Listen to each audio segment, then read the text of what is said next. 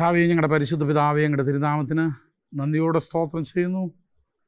തിരുവചനം പഠിക്കുവാനും പഠിപ്പിക്കാനും ഒരു ജീവിതത്തിൽ ഒരു അവസരം കൂടെ തന്നതിനായിട്ട് സ്തോത്രം. ഞങ്ങളുടെ ബുദ്ധിയെ പ്രകാശിപ്പിക്കണമേ ഞങ്ങൾക്ക് ജ്ഞാനം പകർന്നു തരണമേ പഠിപ്പിക്കുന്നത് ഗ്രഹിപ്പാൻ സഹായിക്കണമേ. വേണ്ട രീതിയിൽ അത് പ്രകടിപ്പിക്കുവാനുള്ള കൃപ തരണമേ എന്ന് പ്രാർത്ഥിക്കുന്നു. ഞങ്ങളുടെ ക്ലാസ്സിൽ ഞങ്ങളോടുകൂടെ കടന്നു വരാൻ കഴിയാത്ത ഞങ്ങളുടെ പ്രിയപ്പെട്ടവരെ ഓർത്ത് പ്രാർത്ഥിക്കുന്നു. അങ്ങ് അവർക്ക് കൊടുത്തിരിക്കുന്ന സൗഖ്യത്തിനായിട്ട് സ്തോത്രം വിടുതലിനായിട്ട് സ്തോത്രം. അനർത്ഥങ്ങൾ വ്യസന കാരണമായി തീരാതെ കർത്താവരെ പരിപാലിച്ചത് ഓർത്ത് നന്ദിയോടെ സ്തോത്രം ചെയ്യുന്നു. കർത്താവ് അവർ ശാരീരികമായിട്ട് ക്ഷീണിതരായിരിക്കുന്നു. അവിടുത്തെ ബലം അവരെ ധരിപ്പിക്കണമേ എന്ന് പ്രാർത്ഥിക്കുന്നു. അടുത്ത ആഴ്ചയിൽ സന്തോഷത്തോടുകൂടെ ഞങ്ങൾക്ക് ഒന്നിച്ച് വീണ്ടും ക്ലാസ് തുടരുവാൻ കർത്താവ് സഹായിക്കും. എല്ലാ നന്മകളാലും നിറയ്ക്കും. യേശുവിൻ നാമത്തിൽ തന്നെ. ആമേൻ. പഠിച്ചുകൊണ്ടിരിക്കുന്നത് യേശു ചെയ്ത അത്ഭുതങ്ങളെക്കുറിച്ചാണ്. ആ യേശുവിന്റെ അത്ഭുതങ്ങൾ ഓരോന്നായിട്ട് പഠിക്കുമ്പോഴും നമ്മൾ അതിൽ പൊതുവേ കാണുന്ന ചില സ്വഭാവങ്ങളുണ്ടെന്നാണ് നമ്മൾ പറഞ്ഞു നിർത്തിയത്. ദ കോമൺ എലിമെന്റ്സ് അല്ലേ? ഇപ്പം ചില ആളുകളുടെ പാട്ടുകൾ പരിശോധിച്ചാൽ അവരെഴുതുന്ന എല്ലാ പാട്ടുകളിലും ചില കോമൺ വേർഡ്സ് കാണും. അപ്പോൾ ആ പാട്ട് കേട്ടാൽ അറിയാം. അത് ഇന്ന ആൾ എഴുതിയ പാട്ടാ അല്ലെങ്കിൽ ഇന്ന ഗ്രൂപ്പ് എഴുതിയ പാട്ടാണ് ഇന്ന പ്രസ്ഥാനക്കാരെഴുതിയ പാട്ടാണ് കാരണം അവരുടെ അതിന്റേതായിരിക്കുന്ന ഒരു ഒരു ഒരു കളറിങ് അവരുടെ അതിന്റേതായിരിക്കുന്ന ഒരു ഇത് അതിനകത്ത് കാണാം. അത് വാക്കുകളായിരിക്കാം ശൈലികളായിരിക്കാം ട്യൂണായിരിക്കാം. ഇപ്പം മാപ്പിളപ്പാട്ടിനൊരു ട്യൂണുണ്ട് അല്ലേ? മാപ്പിള എഴുതിയത് കൊണ്ടല്ല അത് പാട്ടിന്റെ ശൈലിയാണ് ഇതുപോലെ നാടൻ പാട്ടുകൾക്ക് അതിന്റേതായിരിക്കുന്ന ഒരു ട്യൂണുണ്ട് അതിന്റേതായിരിക്കുന്ന ഒരു ശൈലിയുണ്ട്. അപ്പോൾ ആ ശൈലിയും ട്യൂണും കണ്ടാൽ നമുക്കറിയാം. അത് ഏത് വിഭാഗത്തിന്റേതാണ്. ഇനി വേറൊരു കാര്യം ശ്രദ്ധിച്ചാൽ ചില വാക്കുകളുടെ പ്രയോഗം നോക്കിയാൽ കാണാം ഏത് കാലഘട്ടത്തിലേതാണെന്ന് അറിയാൻ കഴിയും. ചില വാക്കുകളൊന്നും ഇന്ന് നമ്മൾ ഉപയോഗിക്കാറ് പോലുമില്ല. കാരണം ഈ കാലഘട്ടത്തിൽ ആ വാക്കുകൾക്ക് പ്രസക്തിയില്ല. ആർക്കും അറിയത്തുമില്ല. അപ്പോൾ യേശു ചെയ്ത അത്ഭുതങ്ങളെ എല്ലാം നോക്കിക്കഴിഞ്ഞാൽ അതിനകത്ത് ചില കോമൺ ഫാക്ടേഴ്സ് പൊതുവായ ചില ഘടകങ്ങൾ നമുക്ക് ദർശിക്കാനായിട്ട് കഴിയും. അതാണ് നമ്മൾ ഇന്നലെ പഠിച്ചത്. അഞ്ച് കാര്യങ്ങൾ ഇന്നലെ നമ്മൾ അതിൽ നിന്ന് കണ്ടു. ഒന്ന് ഒരു മനസ്സലിവുള്ള ഹൃദയം. യേശു ചെയ്ത എല്ലാ അത്ഭുതങ്ങളും തന്റെ മനസ്സലിവുള്ള ഹൃദയത്തിൽ നിന്ന് താന് ചെയ്തതാണ് നമ്മൾ ആദ്യം മനസ്സിലാക്കിയിരിക്കണം. യേശുവിന്റെ അത്ഭുതങ്ങളുടെ പ്രത്യേകത നമ്മൾ ഒന്നാ അതെല്ലാം മനസ്സലിവിന്റെ പ്രവർത്തികളായിരുന്നു അത് രോഗിയെ സൗഖ്യമാക്കിയാലും കൊള്ളാം. കാറ്റിനെയും കടലിനെയും ശാന്തമാക്കിയാലും കൊള്ളാം. അഞ്ചപ്പം കൊണ്ട് അയ്യായിരത്തെ പോഷിപ്പിച്ചതായാലും കൊള്ളാം. മുപ്പത്തെട്ടാണ്ട് രോഗം കിടന്നു പിടിച്ച മനുഷ്യനെ എഴുന്നേൽപ്പിച്ച് വിട്ടതായാലും കൊള്ളാം. മരിച്ചവരെ ഉയർപ്പിച്ചതായാലും കൊള്ളാം. പത്രോസിന്റെ വീട്ടിൽ ചെന്ന് അമ്മായിമ്മയ്ക്ക് സൗഖ്യം കൊടുത്തതായാലും കൊള്ളാം. എല്ലാം തന്റെ മനസ്സലിവിന്റെ പ്രവർത്തികളായിരുന്നു. ഇതായിരിക്കണം നമ്മുടെ മിനിസ്ട്രിയുടെ നമ്മുടെ ശുശ്രൂഷയുടെ മോട്ടീവ് നമ്മൾ ചിലതൊക്കെ ശല്യം തീരാൻ വേണ്ടി ചെയ്യാറുണ്ട് അല്ലേ? അപ്പോൾ ഞാനും ചെയ്തിട്ടുണ്ട്. ഇപ്പോൾ ഒരാൾ എന്തെങ്കിലും ഭാരോ അല്ലെങ്കിൽ എന്തെങ്കിലും പറഞ്ഞൊരു സഹായം ചോദിക്കാനായിട്ട് വന്നത് അപ്പോൾ നമുക്ക് കേൾക്കാൻ പോലും നേരമില്ല. ഇപ്പോൾ ഒരു കൊടുത്തു കഴിഞ്ഞ് അതിന് സാധനം പറയും ബാധ ഒഴിവാക്കാൻ പറയാം. ആളെ എന്ത് പക്ഷെ ഒരു പക്ഷേ അദ്ദേഹത്തിന് അതല്ലായിരിക്കാൻ വേണ്ടത്. ഞാൻ അങ്ങനെ ഒരിക്കൽ ചെയ്തപ്പോൾ ഒരാൾ പറഞ്ഞു ഞാൻ പൈസയ്ക്ക് വേണ്ടി വന്നതല്ല. ഞാനൊരു നിങ്ങളെനിക്ക് വേണ്ടി ഒന്ന് പ്രാർത്ഥിക്കുമെന്ന് അറിയാൻ വേണ്ടി വന്നാന്ന് പറഞ്ഞു. അത് ശരിക്കും ഒരു ഒരു ഒരു എനിക്കൊരു അടി കിട്ടിയ പോലെ ആയിപ്പോയി. ഞാൻ പൈസ ചോദിക്കാൻ വന്നതല്ല. ഫാദറെ ഞാൻ എനിക്ക് വേണ്ടി ഒന്ന് പ്രാർത്ഥിക്കുമെന്ന് അറിയാൻ വേണ്ടി വന്നതാണ് അപ്പം നമ്മുടെ പ്രവൃത്തികളുടെ എല്ലാം പുറകിലെ ഛേദോവികാരം ഇതായാൽ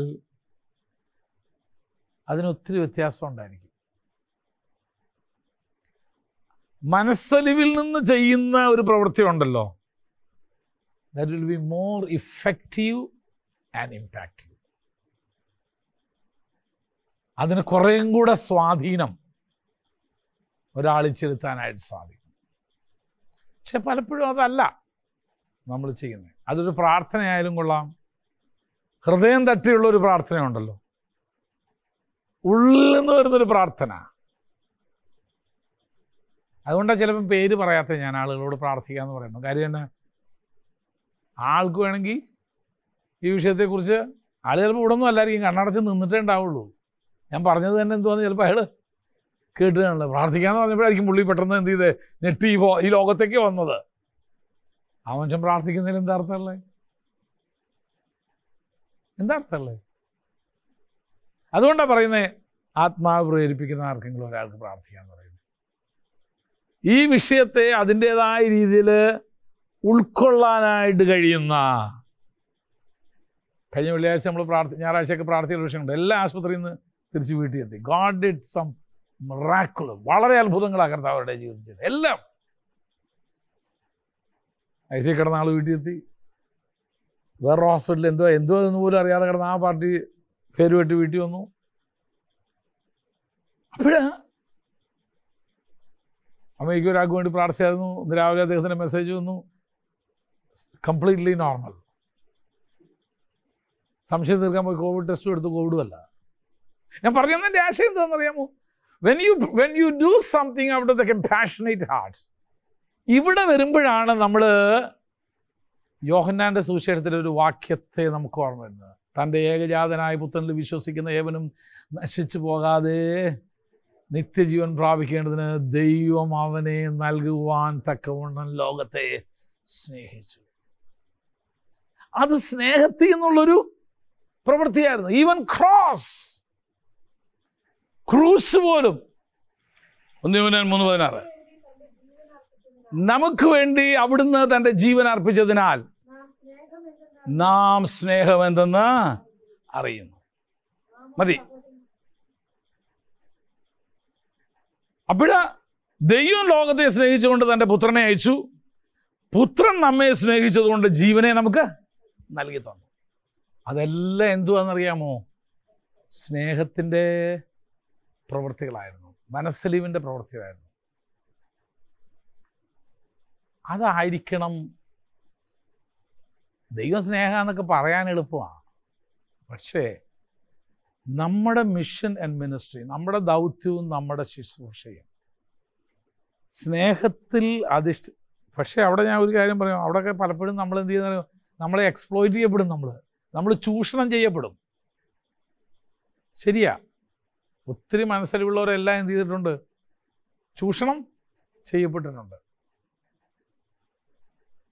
അത് ചെയ്തോൻ അതിന്റെ ഫലം എന്ത് ചെയ്തോളും? അനുഭവിച്ചോളും.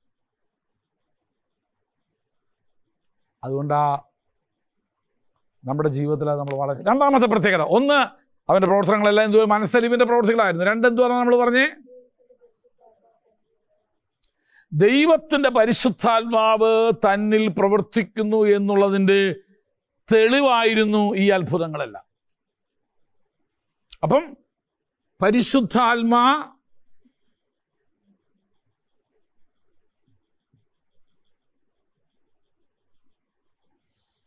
സാന്നിധ്യത്തിന്റെ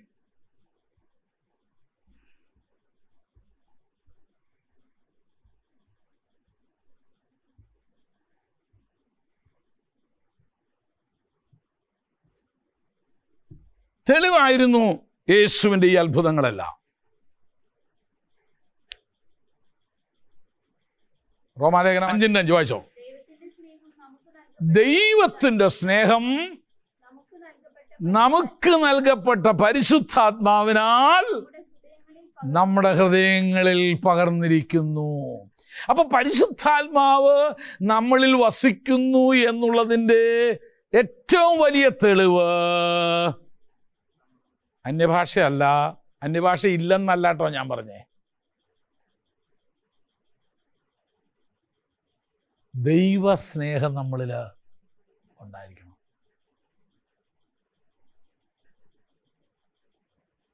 പരിശുദ്ധാത്മാവിനാൽ നമുക്ക് പകരപ്പെട്ടത് എന്തും കൂടാ?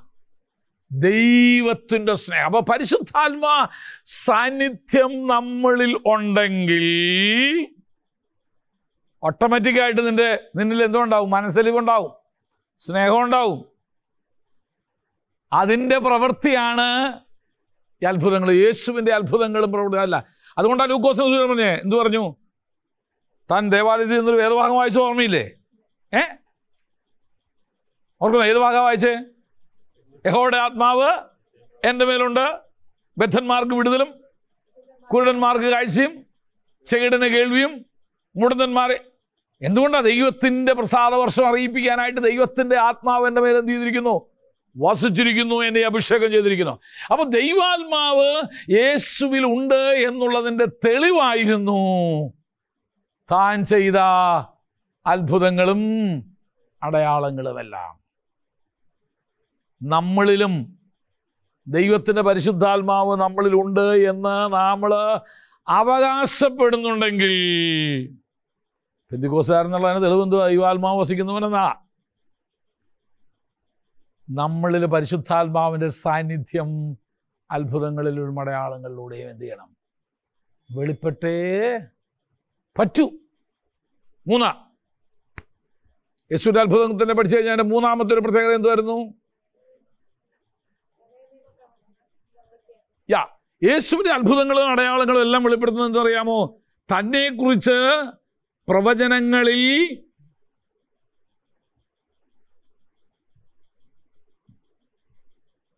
എഴുതപ്പെട്ടിരിക്കുന്നത്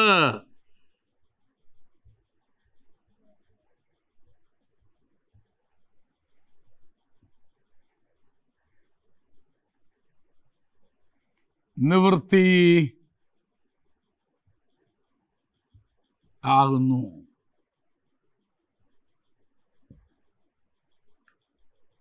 മസിയാൻ വരുമ്പോൾ എന്ത് സംഭവിക്കുമെന്ന് പഴയ നിയമത്തിൽ വെളിപ്പെടുത്തിയിട്ടുണ്ട്. അതുകൊണ്ടല്ലേ പറഞ്ഞ യോഹനാനോട് പറഞ്ഞു യോഹനാന്റെ ശിഷ്യന്മാരെ യേശുവിന്റെ അടുക്കൽ അയക്കുമ്പോൾ യേശു പറയുന്നു നിങ്ങൾ കാണുകയും നിങ്ങൾ കേൾക്കുകയും ചെയ്യുന്ന യോഹനാനോട് ചെന്ന് പറ. എന്നിട്ട് പറയുന്നു എന്തോ കുരുടർ കേൾക്കുന്നു. ആ കാണുന്നു. ചെകിടർ കേൾക്കുന്നു. കുഷ്ഠരോഗികൾ ശുദ്ധരായിത്തീരുന്നു. ബദ്ധന്മാർക്ക് വിട്. നിങ്ങൾ കാണുകയും കേൾക്കുകയും ചെയ്യുന്നത് നിങ്ങൾ യോഹനായിട്ട് ചെന്ന് പറ. പ്രവചനങ്ങളിൽ എന്താണോ എഴുതപ്പെട്ടിരിക്കുന്നത്? യേശുവിന്റെ ശുശ്രൂഷയിലൂടെ അത് എന്ത് ചെയ്തിരിക്കുന്നു? നിവൃത്തിയാക്കപ്പെടുക. എന്നിട്ട് കർത്താവ് പറയുന്നു അതേ അധികാരത്തോടെ അതേ അഭിഷേകത്തോടെ എന്റെ പിതാവ് എന്നെ അയച്ചതുപോലെ എന്ത് ദൗത്യത്തിനാണോ എന്നെ അയച്ചത്? അതിനുവേണ്ടി ഞാൻ നിങ്ങളെ അയക്കുക സ്വർഗത്തിലും ഭൂമിയിലും സകല അധികാരവും എനിക്ക് എന്ത് ചെയ്തിരിക്കുന്നു. നൽകപ്പെട്ടിരിക്കുന്നു. നിങ്ങൾ നിങ്ങൾ പൊക്കോ? പോയി സകല സൃഷ്ടിയോട് സൂചന പ്രസംഗിച്ചോ? വിശ്വസിക്കുന്ന ഒരാൾ ഈ അടയങ്ങൾ നടക്കും. പ്രവചനങ്ങൾ എഴുതപ്പെട്ടിരിക്കുന്ന നിവൃത്തിയായിരുന്നു യേശുക്രിസ്തുവിന്റെ അത്ഭുതങ്ങളിലൂടെ പ്രകടമായിരുന്നത്. നാല് ഇതെന്ത് വെളിപ്പെടുത്തിയിരിക്കുന്നു? സാത്താന്റെ പരാജയം.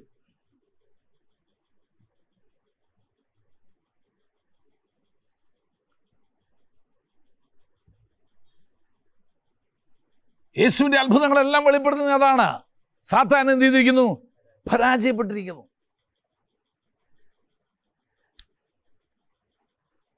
ദേവാലയത്തിൽ ചെന്നപ്പോഴും അവിടെ ഒരു സ്ത്രീ ഇരിപ്പുണ്ട്. എത്ര വർഷമായിട്ട് രോഗിയായിട്ടിരിക്കുക പതിനെട്ട് സംവത്സരമായിട്ടല്ലേ? ആണോ? അതെ കുനിയായ സ്ത്രീ അതാ പറഞ്ഞേ. അവളാ ദേവാലയത്തിൽ ഇരിക്കുന്നേ. അവൾ അവളുടെ ആ ബലഹീനതകളെയൊക്കെ മറന്നിട്ട് അല്ലെങ്കിൽ അതിനെ കവച്ച് വെച്ചിട്ട് ആരാധനയ്ക്ക് വന്നേക്കുന്നത് നമുക്കൊരു ചെറിയ തലവേന മതി അന്ന് ലോകത്തിന് വരത്തില്ല. എന്താ ആരാധനയ്ക്ക് കഴിഞ്ഞ്? രാവിലെ എഴുന്നേറ്റപ്പോൾ ഒരു തലവേല തലവേന പോലെ എനിക്ക് തോന്നി. ആ തോന്നി. പത്ത് മണി കഴിഞ്ഞപ്പം പത്ത് മണി കഴിഞ്ഞപ്പോൾ തലവേദന ആ തോന്നലൊക്കെ മാറുകയും ചെയ്തിട്ടു കാരണം ഇനിയിപ്പോൾ പോകണ്ടല്ലോ എന്നാ നീ പോകണ്ടെന്ന് പറഞ്ഞു അപ്പം പിന്നെ? ഇവിടെ ഒരു സ്ത്രീ പതിനെട്ട് വർഷമായിട്ട് അവൾ എന്ത് ചെയ്യുക കൂലിയ ആ ഗതികേട് ഇവിടെ ആർക്കുമില്ലല്ലോ. രണ്ട് അങ്ങനെയൊക്കെ ഉള്ള ആളുകളെ അവരുടെ സൈക്കോളജി പഠിച്ചു കഴിഞ്ഞാൽ അവർ എപ്പോഴും അന്തർമുഖരായിരിക്കും. അവരൊരിക്കലും പൊതുസ്ഥലത്ത് പോകാൻ അവർ എന്ത് ചെയ്യത്തില്ല. താല്പര്യപ്പെടില്ല അവരുടെ ആ ബലഹീനതകളെ കൊണ്ട്. ഒന്നും വേണ്ടാന്നേ. ഷേവ് ചെയ്ത കൂട്ടത്തിൽ ഒന്ന് അല്പം ഇവിടെ നിന്ന് കയറിപ്പോയെന്ന് വിചാരിക്കും. അപ്പോൾ എന്തുവാ? അന്ന് യോഗത്തിന് പോകത്തില്ല. കാരണം മുഴുവൻ എടുത്തു കളയാൻ പറ്റാത്തതുകൊണ്ട്. കാരണം ആ നാണക്കേടോടുകൂടെ പോകാനായിട്ട് എന്തെങ്കിലും ഒരു ചെറിയ ദൃശ്യമായ ഏതെങ്കിലും ഒരു പാടോ എന്തെങ്കിലും ഒന്നോ നമ്മുടെ ഇതിനകത്ത് വന്നു കഴിഞ്ഞാൽ ഉടനെ നമ്മൾ എന്ത് ചെയ്യും? നമ്മൾ ഉൾവലിയും. ഈ സ്ത്രീ ഞാൻ ചോദിക്കട്ടെ ചുമ്മാതൊന്നുമല്ല കർത്താവളെ സൗഖ്യമാക്കിയത്. വെറുതെ ഒന്നുമല്ല. നമ്മളെ സൗഖ്യമാക്കാത്തയും ആണ് ഞാൻ പറഞ്ഞോ വെറുതെ അല്ലാന്ന്. നമ്മൾ കാർ എവിടെങ്കിലും കണ്ടാ ഇവിടെ എന്ത് ചെയ്യും? ബാക്കി എല്ലാ ദിവസവും പോവും. ഈയിടെ എന്നാ എനിക്ക് വരാതെ ഓ ഞാൻ ഓട്ടോറിക്ഷ ഓടിക്കുന്ന ആളാണ് ഞാനപ്പോൾ ഇനി എവിടെയൊക്കെയാണ് കിടക്കുന്നതെന്ന് അറിയത്തില്ല. അവന് ഇവിടെ വന്ന ആർക്കും കുറവാണ്. ഇവൻ തന്നെ തിങ്കളാഴ്ചയും വീണ്ടും കൊണ്ടുപോകണ്ട? കേട്ടോ വണ്ടി ഓടിക്കാൻ. അന്നേരം ഒന്നും വന്നില്ല. നാട്ടുകാർക്ക് കൊടുക്കുന്നതിനൊന്നും ഒരു ബുദ്ധിമുട്ടുമില്ല ഐ ഡോണ്ട് അണ്ടർസ്റ്റാൻഡ് എനിക്ക് അങ്ങനെയുള്ള ഒരു ആ മാനസിക സ്ഥിതി എനിക്ക് മനസ്സിലാവുന്നില്ല. ഞാനിനി ഇവിടെ വന്ന് ആരാധനയ്ക്ക് വന്ന് ആർക്കും കൊടുക്കും എന്നാൽ പിന്നെ വീട്ടിൽ ഇരിക്കുന്ന നീ തിങ്കളാഴ്ച കൊണ്ട് പോയി എത്രണ്ണത്തെ ഓട്ടോറിക്ഷ കയറ്റി കൊണ്ടുവന്ന് നീ പോന്നു? ചുമ്മാ അതൊന്നും അല്ല തമ്പുരാൻ ഓരോന്നിനെ അനുഗ്രഹിക്കാത്തത്. ഇന്നലെ ഒരാളോട് പോലും ചോദിച്ചു എന്താ പാസ്റ്ററെ ആരാധിക്കുക കാണാൻ ഭയങ്കര ക്ഷീണമായിരുന്നു ഞാൻ പറഞ്ഞു മേലാൽ ഇനി ഒറ്റ ഒരെണ്ണത്തിന് വിളിച്ചു പോകരുത്. എന്താ ആരാനിക്ക് വരാൻ ഞാൻ ചോദിച്ചിട്ട്. ഭയങ്കര ക്ഷീണമായിരുന്നു അതുകൊണ്ട് എന്ത് ചെയ്തില്ല. ആരാനിക്ക്? ഞാൻ പറഞ്ഞു മേലാൽ ഒറ്റ വിശ്വാസിയോട് എന്ത് ചെയ്തത് ഇനി എന്താ വരാഞ്ഞെന്നുള്ളത് നീ എന്ത് ചെയ്യരുത്? ചോദിച്ചു പോരുത് വിശ്വാസി എല്ലാം കൂടെ നിന്നെ വിളിക്കുമ്പോൾ എന്താ പറയും? ക്ഷീണമായിരുന്നു എന്ന് പറയോ? ആ ക്ഷീണം എല്ലാവർക്കും ഉണ്ട്. ദൈവം അവളെ സൗഖ്യമാക്കിയത് വെറുതെ ഒന്നുമല്ല അവളുടെ ആ ബല നിങ്ങളൊന്ന് ആലോചിക്കുക ആ കൂനി പിടിച്ച സ്ത്രീ ആരാധനയ്ക്ക് വരണമെങ്കിൽ എന്ത് പാടുപെട്ടവൾ വന്ന് കാണും അല്ലേ? ആരെന്ത് കണ്ടവരൊക്കെ ചിലപ്പോൾ ചോദിച്ചു കാണും. ഫുൾ ഹോസ്പിറ്റൽ ആളുകളാണെങ്കിൽ നിശ്ചയം ഈ തള്ളയ്ക്ക് അടങ്ങി വീട്ടിലിരുന്നാൽ പോലെയും ചോദിക്കും. ഈ സഭയിലെ വിശ്വാസികളാണെങ്കിൽ നിശ്ചയമായിട്ടും ചോദിക്കും. എനിക്കറിഞ്ഞൂടെ നമ്മുടെ വിശ്വാസികളെ. ഈ തള്ളക്കടങ്ങി അവർ ഓൺലൈൻ സർവീസ് ഉണ്ടല്ലോ. ഓൺലൈനിലും കണ്ട്. വീട്ടിലിരുന്നാ പോരെ നമ്മുടെ വിശ്വാസി ഞങ്ങൾ ഉറപ്പാണ് ഉറപ്പാണ് ചോദിക്കുന്നുള്ള യാതൊരു സംശയമില്ല ഇവിടുത്തെ വിശ്വാസികൾ പക്ഷേ ഈ സ്ത്രീ അതൊക്കെ വകവെച്ചിട്ട് ഞാൻ ചോദിക്കട്ടെ അങ്ങനത്തെ ഒരു ആരാധനയിൽ യേശു സിനഗോഗ. എരിശിലേമിൽ തന്നെ എത്ര സിനഗോഗുകളുണ്ടെന്ന് അറിയാമോ ഞാൻ പറയാം കർത്താവ് മനഃപൂർവം അന്ന് ആ സിനഗോഗിൽ പോയേ. അവളെ കണ്ടിട്ട് കർത്താവ് സൗഖ്യമാകാതെ പോകുന്നു. എന്നിട്ട് കർത്താവ് പറയാ പതിനെട്ട് സംവത്സരമായിട്ട് പിശാജ് ബന്ധിച്ച ഇവളെ ഞാൻ അഴിച്ചുവിടേണ്ടതല്ലേ അഥവാ ഇറ്റ്സ് മൈ ഡ്യൂട്ടി ഇതെന്റെ ചുമതലയാണ് അവളെ അഴിച്ചുവിടുക എന്നുള്ളത്. പതിനെട്ട് വർഷമായിട്ട് പിശാജ് അവളെ ബന്ധിച്ചിരിക്കുകയായിരുന്നു. കർത്താവ് അവളെ അന്ന് അവിടെ നിന്ന് അഴിച്ചുവിട്ടപ്പോൾ എന്താ എന്ത് വിളിയും അവനെ പരാജയപ്പെടുത്തി. ആരെ? പിശാചിനെ. യേശുവിന്റെ എല്ലാ പ്രവൃത്തികളും അഞ്ചപ്പം കൊണ്ട് അയ്യായിരത്തെ പോഷിപ്പിച്ചതോ? അത് തന്നെ. കർത്താവിനെ എടുക്കുകയായിരുന്നു. വചനം കേട്ട് കേട്ട് കേട്ട് കേട്ട് കേട്ട് സമയം പോയത് പോലും അറിഞ്ഞില്ല. പിശാചൻ തീരുമാനിച്ചു. ഒരു പോട്ടെ എല്ലാത്തിനെയും ഞാൻ വഴിയിൽ എന്ത് ചെയ്തേക്കാം? തളർത്തി വീഴ്ചോളാന്ന് പറഞ്ഞു. അല്ലേ? യോഗം കഴിഞ്ഞ് പോയില്ലേ എടാ നീ മനസ്സിൽ കാണുന്നത് അമ്പ്ര മാനസ് കാണുന്നതാ യോഗ കഴിഞ്ഞ എല്ലാവർക്കും ഭക്ഷണം കൊടുത്തിട്ട് ഇവിടെ ആവുമെന്ന് പറഞ്ഞു. അവന്റെ ആ പരിപാടിയും പൊട്ടിച്ച് കൈ കൊടുത്തു. അക്കരയ്ക്ക് പോകാൻ ശിഷ്യന്മാരോട് പറഞ്ഞു. പടക് കയറി അക്കരയോട് പോകുന്ന വഴിക്ക് പകുതി വഴി എത്തപ്പോഴത്തേന് ഭയങ്കര കാറ്റും കോളും അക്കരെ വിടത്തില്ലെന്ന് പിശാജും വാത് കെട്ടി. തമ്പുരാൻ എന്ത് ചെയ്തു? അങ്ങനെയാണോ എന്നാ കാണിച്ചു തരാം ഞാൻ ഇവരെ കൊണ്ട് തന്നെ അക്കരെ എത്തിക്കുന്നു. എവ്രി പ്ലാൻസ് കർത്താവിന്റെ വേലയിലായിരിക്കുന്ന ദൈവത്തെ സ്നേഹിക്കുന്ന ദൈവവചനത്തെ സ്നേഹിക്കുന്ന നിങ്ങളോട് എനിക്ക് പറയാനുള്ള ഒറ്റ കാര്യം. നീ ഒരു ഉറച്ച തീരുമാനം എടുക്കുമോ God will be on your side ദൈവം നിന്റെ പക്ഷത്തുണ്ടായിരിക്കും. എന്ത് വില കൊടുത്താണേലും ഞാനിത് ചെയ്യും. എന്നൊരു തീരുമാനം നിനക്ക് എടുക്കാൻ പറ്റുമോ? നിൽക്കുമോ കർത്താവ് നിന്റെ കൂടെ ഉണ്ടായിരിക്കും. കർത്താവ് നിന്നെ മാനിക്കും. എന്നാ തൃശ്ശൂരെങ്ങും വേറെ സഭകളോ? എത്ര ഹോളം പൂട്ടിക്കിടക്കുന്ന നമ്മളെ പോലെ തന്നെ അവർക്ക് ഇരുപത് പേരെ വെച്ച് ആരാധിക്കാനുള്ള സ്വാതന്ത്ര്യമുണ്ട്. ഇതിനൊക്കെ വലിയ ആളുകളുണ്ട് അവർക്ക് മെനക്കെടാൻ വയ്യ. നീ ചെയ്യേ. കുറെ പേരൊക്കെ തൃശ്ശൂർ നിന്ന് പരിപാടി വേണ്ടാന്ന് വെച്ച് ഓളും അടച്ചു പൂട്ടി എന്ത് ചെയ്തുക അവർ പോയി കഴിഞ്ഞു. ഇനി കൊറോണ മാറിയാലും തിരിച്ചു തുടങ്ങാൻ പറ്റാത്ത വിധത്തിൽ ആളുകളെല്ലാം എന്ത് ചെയ്ത്? പോയി കഴിഞ്ഞു. ഒന്നര വർഷം ആരാധന ഇല്ലെങ്കിൽ പിന്നെ ആരാ വരാൻ വന്ന് വിളിച്ച? നീ ഒരു വർഷം തീരുമാനം എടുത്തേ. I will do it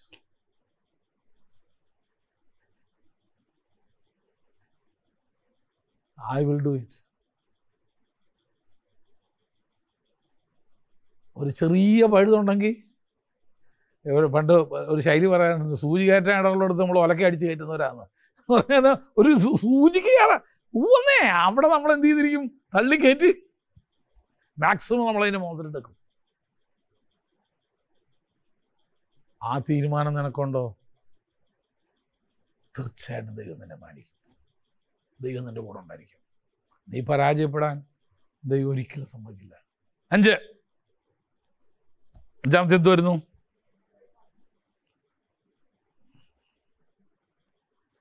ഈ അത്ഭുതങ്ങളെല്ലാം വെളിപ്പെടുത്തുന്ന ഒരു കാര്യം എന്ത് വരുന്നു? ദൈവരാജ്യം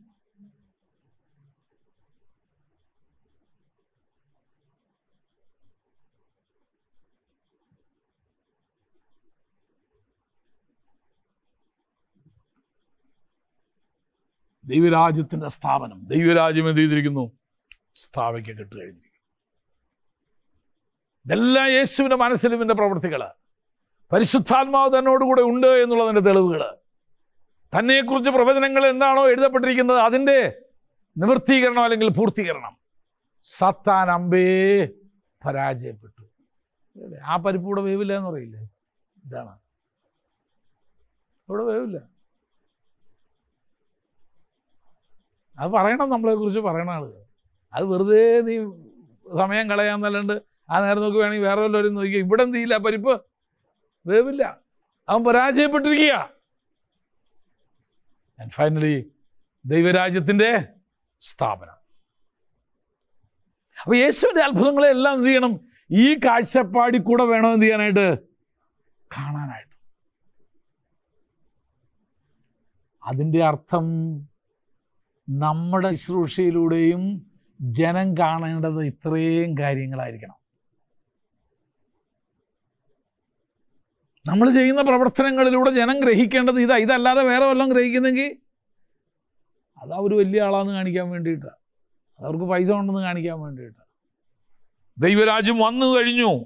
വന്നിരിക്കുന്നു. തന്റെ ശുശ്രൂഷയിലൂടെ അത് സംഭവിച്ചിരിക്കുന്നു എന്ന് കർത്താവ് താൻ ചെയ്ത എല്ലാ അത്ഭുതങ്ങളിലൂടെയും കർത്താവ് എന്ത് ചെയ്തെന്നറിയാമോ വെളിപ്പെടുത്തി. താൻ ചെയ്ത ചില അത്ഭുതങ്ങൾ എന്തൊക്കെയാ? ഇനി അത്ഭുതങ്ങൾ ചെയ്ത് കർത്താവ് രോഗികളെ സൗഖ്യമാക്കുന്നതിന്റെ രീതികൾ നോക്കിയോ എല്ലാവരെയും ഒരേ മെത്തേഡല്ല കർത്താവ് ഉപയോഗിച്ചത്. ആണോ? അല്ല. എന്റെ ഭാഷ പറഞ്ഞ ആത്മാവ് അന്നേരം എങ്ങനെ ചെയ്യാൻ തന്നെ പ്രേരിപ്പിച്ചോ അതാ താൻ ചെയ്തത്. തൊട്ട് സൗഖ്യമാക്കിയവരുണ്ട് തുപ്പി സൗഖ്യമാക്കിയവരുണ്ട് ചേറുണ്ടാക്കി കണ്ണി തേച്ചതുണ്ട് അന്ന് പറയുമ്പോൾ നീ പൊക്കോ? സൗഖ്യമായിരിക്കുക എന്ന് പറഞ്ഞ് വിട്ടതുണ്ട് നമ്മുടെ ശൈലി ഒന്നുമല്ല. ഞാനിപ്പം പലരും കാണിക്കുന്ന ഒരു ശൈലിയും കണ്ടില്ല. കർത്താവെ ഇവനെ സൗഖ്യമാക്കണമേ എന്ന് കർത്താവ് പ്രാർത്ഥിച്ചതായിട്ട് പോലും ഞാൻ എന്ത് ചെയ്യുന്നില്ല.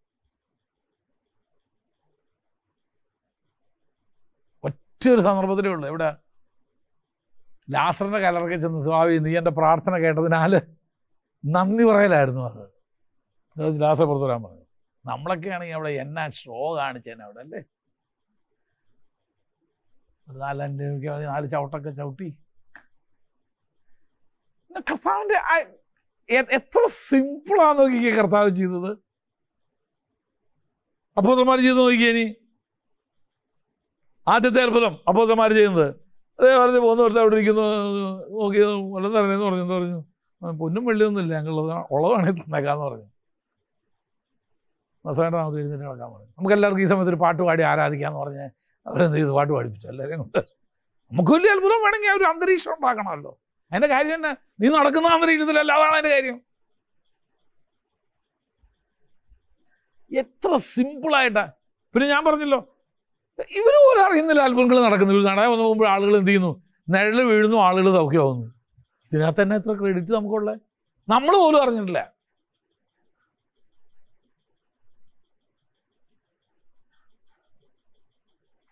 ഒരു ചെകിടനെ സൗഖ്യമാക്കാൻ വന്നല്ലോ എന്ന് പറഞ്ഞു.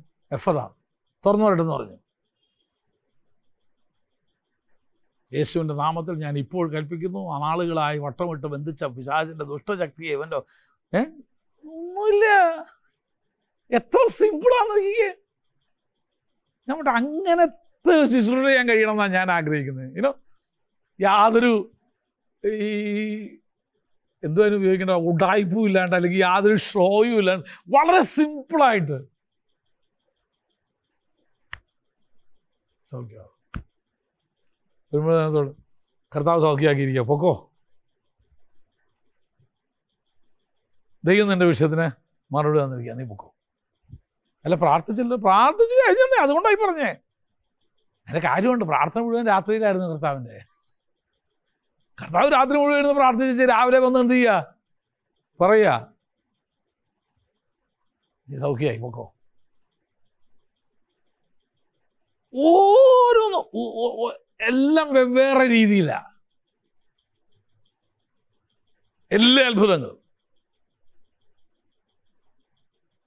ഒരു കൂടനെ ചോദിച്ചു എന്നാ വേണം? ചോദിച്ചു. ഓ കണ്ണ് കാണണം എന്ന് പറഞ്ഞു.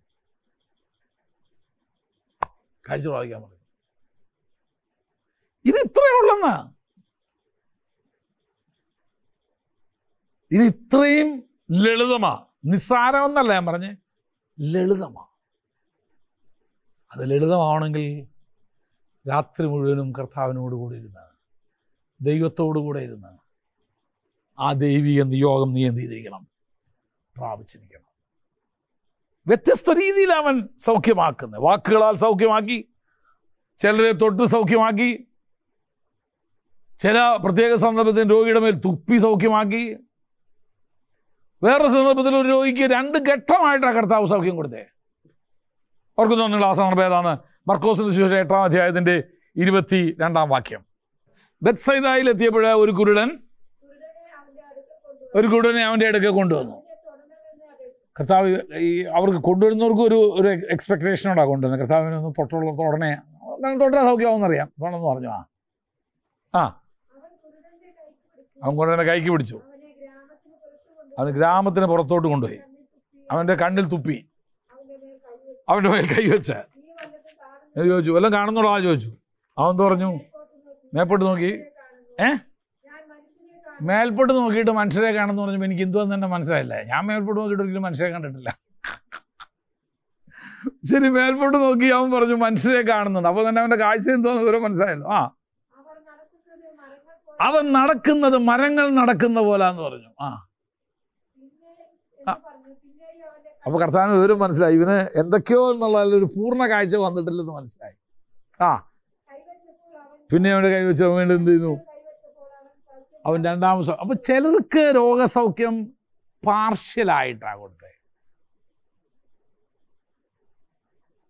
എന്ന് ചുരുക്കി പറഞ്ഞാൽ കർത്താവിന്റെ രോഗസൗഖ്യ മെത്തേഡ് സൗഖ്യം നൽകിക്കൊടുക്കുന്ന രീതി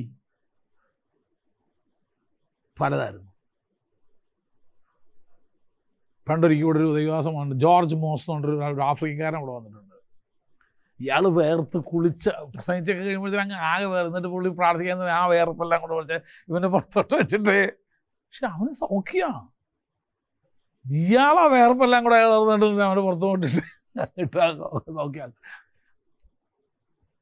കർത്താവിന് തുപ്പാങ്കി ഇയാൾ അതൊന്നും ചെയ്തില്ലല്ലോ. നമുക്കറിയത്തില്ല ദൈവത്തിന് ഓരോരുത്തർക്ക് എനിക്കറിയാം വേറൊരു ദൈവദാസനെ എനിക്കറിയാം. ഞാൻ എന്റെയൊക്കെ അയാളുടെ ശുശ്രൂഷയ്ക്ക് ഒരിക്കൽ പോയിട്ടുണ്ട് അയാൾ ഇന്ത്യ വന്നപ്പോൾ നല്ല മനുഷ്യനാണ് ഇയാൾ ഇദ്ദേഹത്തെ ദൈവം ശുശ്രൂഷ ഏൽപ്പിച്ച് പറഞ്ഞ ആത്മാവിന്റെ വാൾ ദൈവം എന്റെ കൊടുത്തു പറഞ്ഞേ. ഒരു രോഗിക്ക് വേണ്ടി പ്രാർത്ഥിക്കാൻ ഒന്ന് നിന്ന പുള്ളി കാണിക്കും. ആൾക്ക് സൗഖ്യം വേറെ ഒന്നും ചെയ്യില്ല പുള്ളി. ഇയാൾ വാളെടുത്ത് വെട്ടുന്ന പോലെ ഒറ്റ വെട്ട. ആൾ പൂർണ സൗഖ്യ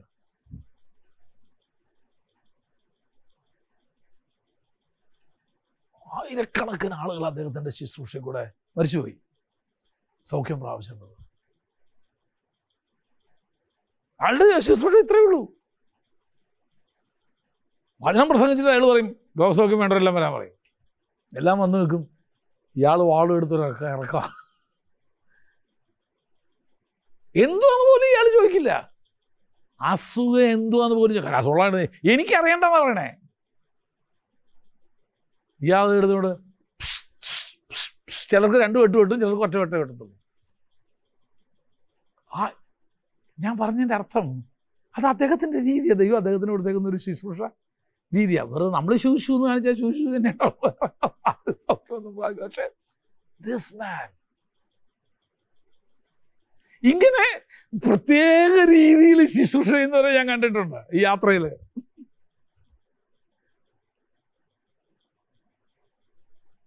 അത് ദൈവം ഓരോരുത്തർക്ക് കൊടുത്തേക്കുന്ന ശുശ്രൂഷ രീതിയാണ്. ഞാൻ ചെയ്യുന്നതാ ശരിയല്ല ഇങ്ങനെ തന്നെ പ്രാർത്ഥിക്കണം ഇങ്ങനെ തന്നെ ചെയ്യണം രൂപം വന്ന തൊട്ട് പ്രാർത്ഥിക്കുന്നവരുണ്ട് തൊടാതെ പ്രാർത്ഥിക്കുന്നവരുണ്ട് ഒറ്റയടിക്ക് പ്രാർത്ഥിക്കുന്നവരുണ്ട്. അത് ദൈവം അവനവന് കൊടുത്തിരിക്കുന്ന കർത്താവിന്റെ ശുശ്രൂഷ രീതി നോക്കി. എന്തിനാ ഇപ്പം അല്ല കർത്താവ് ഈ വ്യത്യസ്ത രീതി ഉപയോഗിച്ചത്? ആരും പറയരുത് ഞാൻ കർത്താവിന്റെ മെത്തേഡാ പിന്തുടരുന്നതെന്ന് പറയാതിരിക്കാൻ വേണ്ടിയിട്ടാണ് കർത്താവ് ഇങ്ങനെ ചെയ്ത്. അല്ല കർത്താവ് ഇങ്ങനെയും ചെയ്തിട്ടുണ്ട്. കർത്താവ് ഇങ്ങനെയും ചെയ്തിട്ടുണ്ട്. അപ്പോസന്മാർ ഇങ്ങനെ പ്രാർത്ഥന റൂമാ ഉത്തരയും റൂമാലൊക്കെ പ്രാർത്ഥിച്ച് കൊടുത്തുവിട്ട്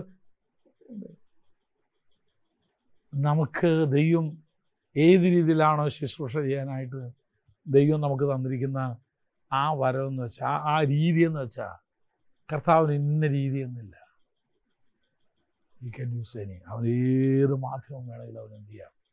അവൻ ഉപയോഗിക്കാനായിട്ട് സാധിക്കും. അപ്പോൾ ഇതാ ശരി അതിന് വചനത്തിൽ കണ്ടോ വെച്ചാൽ പറയാൻ ഞാൻ ആരുമല്ല ദൈവനാമത്തിന്റെ മഹത്വത്തിനും ജീവിതങ്ങളുടെ ആശ്വാസത്തിനും വിടുതലും ആ വ്യക്തി സൗഖ്യം പ്രാപിച്ചോ? ദാറ്റ്സ് ദ കീ തിങ് അത് യേശുവിന്റെ നാമത്തിലൂടാണോ അതാ പ്രധാനം. അത് മനസ്സലിവിന്റെ ഒരു പ്രവൃത്തിയായിരുന്നോ. അതാ എന്റെ പ്രധാനം. അത് പരിശുദ്ധാത്മ സാന്നിധ്യത്തെയാണോ വെളിപ്പെടുത്തിയത്? ദാറ്റ് ഇസ് ഇമ്പോർട്ടന്റ് അത് ദൈവദിനത്തിൽ എഴുതപ്പെട്ടിരിക്കുന്ന അത്ഭുതങ്ങളുടെയും അടയാ വിശ്വസിക്കുന്ന ഒരാൾ ഈ അടയാളങ്ങൾ നടക്കും. എന്റെ നാമത്തിൽ അവർ ഭൂതങ്ങളെ പുറത്താക്കും എന്നൊക്കെ പറയുന്ന വചനത്തിന് നിവൃത്തിയായിട്ടാണോ അത് നടക്കുന്നത്? ദാറ്റ്സ് ഫൈൻ അത് സാത്താന്റെ പരാജയത്തെയാണോ വെളിപ്പെടുത്തുന്നത്? I can I have no problem എനിക്ക് യാതൊരു പ്രശ്നമില്ല എന്റെ കുഞ്ഞെ. ദൈവരാജ്യം സ്ഥാപിതമായിരിക്കുന്നതിന് തെളിവാണോ? പിന്നെ അതിന്റെ പിന്നാലെ പണപ്പിരിവും കൊണ്ട് നീ എന്ത് ചെയ്യരുത്? നടക്കരുത്. അങ്ങനെയുള്ളവരുണ്ട്. ആ ഇൻകം തരാൻ മനസ്സിലവരൊക്കെ വരുന്നില്ല അവർ അവർക്ക് വേണ്ടിയായിരിക്കും ഞാൻ ആദ്യം പ്രാർത്ഥിക്കുന്നത്. കാശ് വേണമെന്നില്ലെങ്കിൽ ക്രെഡിറ്റ് കാർഡിന്റെ മെഷീൻ അവിടെ വെച്ചിരിക്കും. അതിനകത്ത് എന്ത് ചെയ്താൽ മതി? സ്വൈപ്പ് ചെയ്താൽ മതി ഇപ്പം. അത് ആയിരം രൂപക്കാരെല്ലാം പ്രാർത്ഥിച്ചു തന്നു. ഇനി അഞ്ഞൂറ് രൂപ തരാൻ കഴിവുള്ളവരെല്ലാം വാ. ഞാൻ അഞ്ഞൂറ് രൂപ തരാൻ നൽകാൻ വേണ്ടിയാണ് ഇനി ഇപ്പം പ്രാർത്ഥിക്കാൻ പോകുന്നത് ഇതൊക്കെ നമ്മുടെ ഇടയിൽ നടക്കുന്നേന്നേ. മനസ്സിൽ ഇതിന്റെ പ്രവൃത്തിയാണോ അല്ല? അതെന്തോ പ്രവൃത്തിയാ? അതിന് പേരിടാ ഞാൻ എന്തുവാ? ദ്രവ്യാഗ്രഹത്തിന്റെ പ്രവൃത്തിയാ അത്. ഒരു തല വിട്ട് പ്രാർത്ഥിക്കാൻ ഇത്ര രൂപയല്ലേ? ആന്ന് ഒരിക്കൽ പണ്ടൊരിക്കൽ ഒരാൾ പ്രാർത്ഥിക്കാന്ന് എന്റെ തലയൊന്ന് പിടിച്ച് പ്രാർത്ഥിക്കണം. എത്ര രൂപ സാറിന്റെ ചരന്റെയും ചോദിച്ചു. ഞാൻ പറഞ്ഞു ഇതൊക്കെ ഇവിടെ ഉണ്ടായിട്ടുള്ള രസമാണ്. എന്റെ തലയ്ക്കൊന്ന് പിടിച്ച് പ്രാർത്ഥിക്കണം. എത്ര രൂപ ഇവിടുത്തെ ചാർജ് എന്ന്. ഞാൻ പറഞ്ഞു ഇവിടെ ഒരു ചാർജും ഇല്ല. കാരണം അത് അവൻ പോയെടുത്തല്ല അങ്ങനെ ആയിരുന്നു ലോകം കഴിഞ്ഞ് പോകുമ്പോൾ ചോദിക്കും ഇവിടെ എണ്ണ വല്ലതൊക്കെ ഉണ്ടോ വിൽക്കാനായിട്ട്? ഞാൻ പറഞ്ഞതിൽ ഐ ഞങ്ങൾ പോയെടുത്തൊക്കെ അവർ എണ്ണ പ്രാർത്ഥന കഴിഞ്ഞാൽ പത്ത് ഇരുപത് രൂപ കൊടുത്തു കഴിഞ്ഞാൽ എണ്ണ കിട്ടുമല്ലോ ഞങ്ങൾക്ക് ഞാൻ പറഞ്ഞു ഇവിടെ എണ്ണയും പിണ്ണാക്കൊന്നുമില്ല സൗജന്യമായി ലഭിച്ചു. അതുകൊണ്ടല്ലേ നിങ്ങളുടെ തന്നെ ഫീസ് വാങ്ങിക്കാതെ സൗജന്യമായ കർത്താവ് തന്നതാ. അവനൊന്നിനും മുട്ടില്ലാതെ ഇതുവരെയും നടത്തി. ആ ദ്രവ്യാഗ്രഹത്തിന്റെ പ്രവൃത്തിയാ. ആ ദ്രവ്യാഗ്രഹത്തിന്റെ പ്രവൃത്തിയാണെങ്കിൽ അത് പരിശുദ്ധാത്മാവിന്റെ സാന്നിധ്യം അല്ല അത് പിന്നെ ആരുടെയാ? പിശാചിന് അശുദ്ധാത്മാവിന്റെ സാന്നിധ്യ അവിടെ വെളിപ്പെടുന്നേ. അത് പിന്നെ പ്രവചനങ്ങൾ എഴുതപ്പെട്ടതിന്റെ നിവൃത്തി തന്നെ കാരണം നിന്നെ പോലുള്ള വരുമെന്ന് എന്ത് ചെയ്തിട്ടുണ്ട്? അത് വചനത്തിൽ ഉണ്ട്.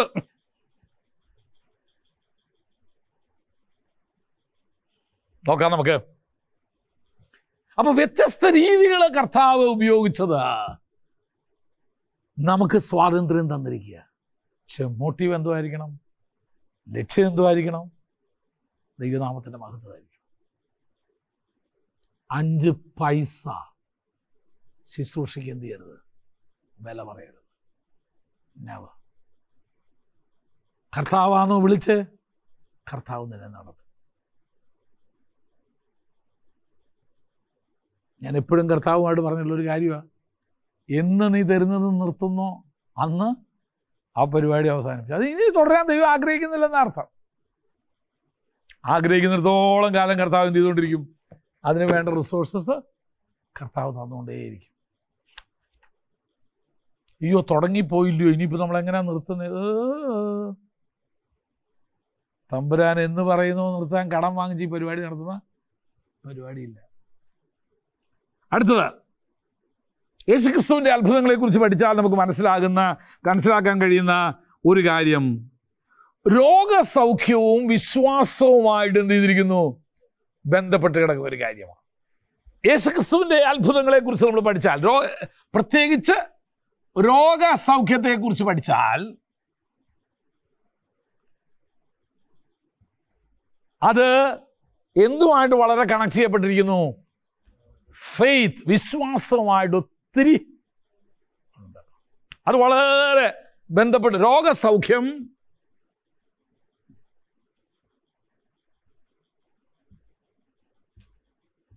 ഇസ് വെരി മച്ച് കണക്ട് അത് വളരെ കണക്ട് ചെയ്യപ്പെട്ടിരിക്കുന്ന ഒരു കാര്യം വിശ്വാസമാണ്. വിശ്വാസമായിട്ട് ഒത്തിരി നോക്കിക്കേ ചില കാര്യങ്ങൾ നിന്റെ വിശ്വാസം പോലെ നിനക്ക് ഭവിക്കട്ടെ.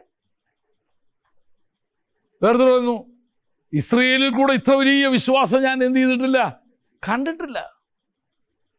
വേറെ ഭാഗത്തോട് സ്ത്രീയെ നിന്റെ വിശ്വാസം വളരെ വലുത്. വേറൊരു ഭാഗത്ത് പറഞ്ഞു അവരുടെ അവിശ്വാസം നിമിത്തം കർത്താവിന് അവിടെ ഒന്നും ചെയ്യാൻ കഴിഞ്ഞില്ല. അപ്പൊ രോഗസൗഖ്യവും വിശ്വാസവും ഒത്തിരി കണക്റ്റഡാ വളരെ കണക്റ്റഡാ കർത്താവ് ചെയ്ത അത്ഭുതങ്ങളെല്ലാം നമ്മൾ എടുത്ത് പഠിച്ചു ഓരോന്നോരോന്നായിട്ട് അതെല്ലാം ഇതുമായിട്ട് വിശ്വാസമായിട്ട് ഒത്തിരി കണക്ട് ചെയ്യപ്പെടുന്നുണ്ട് ഞാനൊരു കാര്യം പറയാം. നിനക്ക് വിശ്വാസമില്ലെങ്കിൽ പ്ലീസ് വെറുതെ ഈ പരിപാടിക്ക് എന്ത് ചെയ്യണ്ട? പോണ്ട. ഞാൻ കുറച്ചുകൂടെ വിശദമാക്കി തരാം.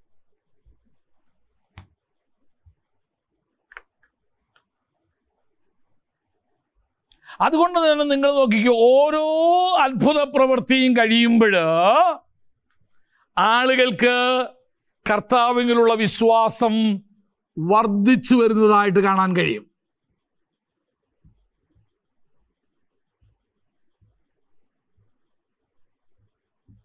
ഓരോ അത്ഭുത പ്രവൃത്തിയും കഴിയുമ്പോൾ എന്ത് ചെയ്യുന്നു? ആളുകൾക്ക് കർത്താവിലുള്ള വിശ്വാസം എന്ത് ചെയ്യുക? വർദ്ധിക്കുക.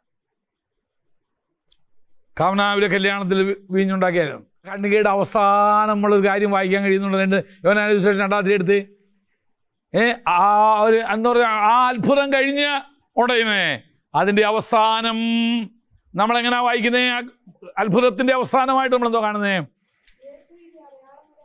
യേശു ഇത് അടയാളങ്ങളുടെ ആരംഭമായി ചെയ്തു. പതിനൊന്നാം വാക്യം രണ്ട് പതിനൊന്ന് ആ. തന്റെ മഹത്വം വെളിപ്പെടുത്തി. അവന്റെ ശിഷ്യന്മാർ അവനിൽ വിശ്വസിച്ചു. അപ്പൊ ഓരോ അത്ഭുതം ഇനി ലാസറിനെ ഉയർത്താൻ പോകുന്ന സമൂഹത്തിലോട്ട് പോവാ.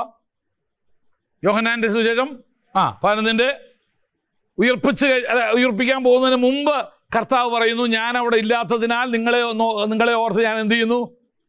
ഞാൻ സന്തോഷിക്കുന്നു.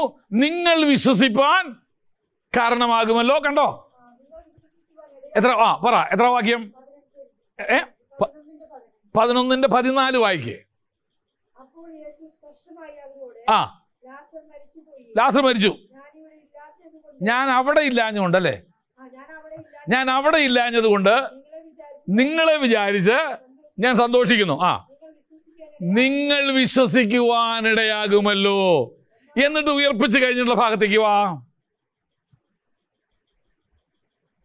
ഉയർപ്പിച്ച് കഴിഞ്ഞിട്ട് എന്തുകൊണ്ട് അനേകർ യേശുവിൽ എന്ത് ചെയ്യാൻ ഇടയായി തീർന്നു? വിശ്വസിക്കാനായിട്ട് കാരണമായി തീർന്നു. നാൽപ്പതാം വാക്യം. ആ.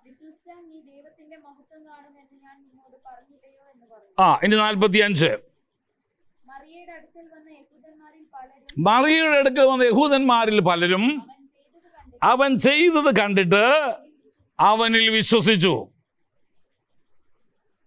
അപ്പൊ എവരി മിറക്കിൾ എല്ലാ അത്ഭുതങ്ങളും ത്തിന്റെയും പുറകിലെ മോട്ടീവ് എന്തായിരിക്കണം ഉദ്ദേശം എന്തായിരിക്കണം? ജനം കർത്താവിൽ എന്ത് ചെയ്യണം?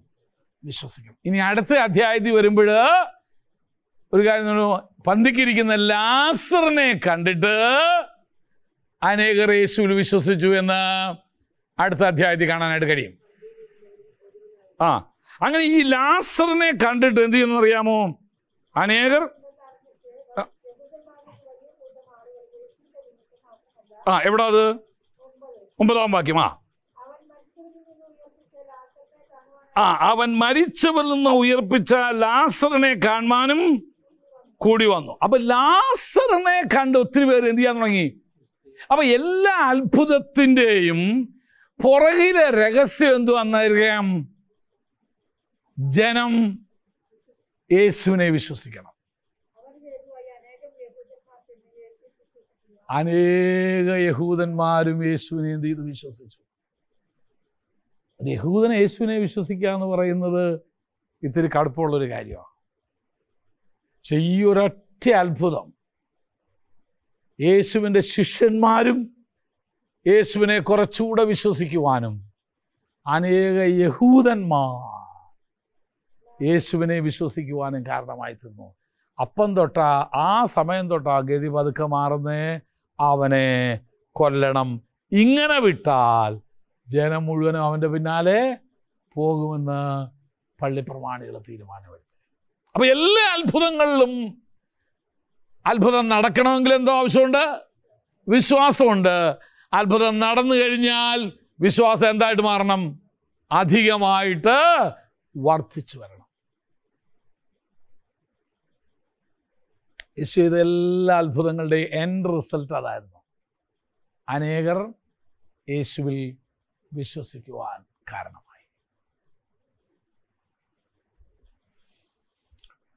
ശരി തൽക്കാലം നമ്മൾ അവിടെ നിർത്താൻ പോവുക. ബാക്കി ദൈവം എന്ന് വെച്ചാൽ നാളെ നമുക്ക് നോക്കാം.